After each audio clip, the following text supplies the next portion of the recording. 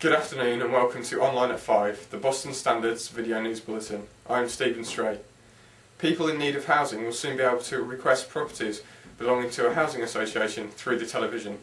The pioneering scheme is being launched by Boston Mayflower as part of the association's new Looking Local service.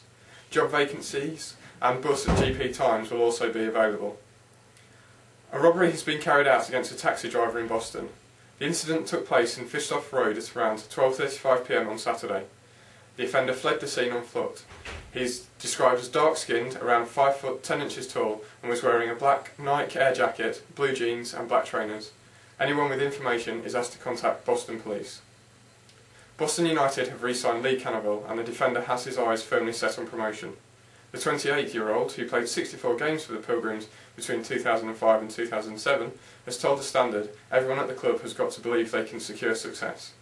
We end with the weather and heavy rain is predicted tomorrow. Thanks for watching.